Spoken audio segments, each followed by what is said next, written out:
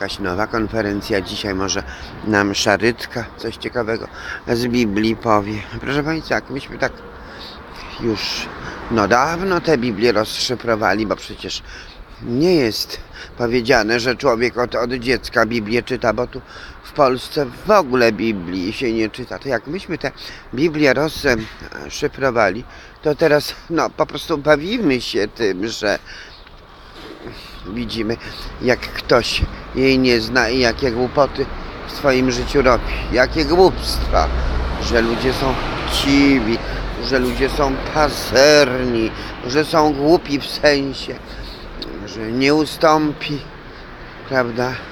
Mądry powinien głupiemu ustąpić. Nie ustąpi, bo się biją, się kłócą. Stąd te wojny. Ludzie uwielbiają gadać o wojnach, oglądać filmy o wojnach. Mnóstwo tego książki czytać. No właśnie, tu jest bibliotek. A przecież każda wojna świadczy o potencjalnie wielkiej głupocie. Nie tylko człowieka, ale i całych narodów, całych systemów, które są przechytrzone przez szatana diabła, bo my świadomi jesteśmy, że to diabeł